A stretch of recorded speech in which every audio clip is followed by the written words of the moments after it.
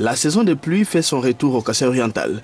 Le gouvernement de province n'a pas attendu un seul instant pour lancer la saison agricole provinciale, exercice 2013-2014. Une grande cérémonie qui a vécu ce mardi 13 août 2013 devant le grand marché d'Enganajika.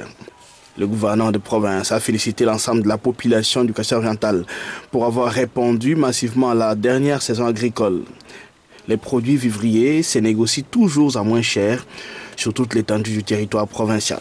Alphonse Sanji s'est rendu sur les terres fertiles du village d'Empassou pour donner le premier coup de pioche.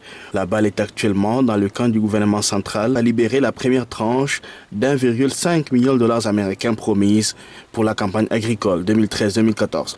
Le Cassé oriental est bien décidé à reprendre sa place de grenier agricole de la RDC.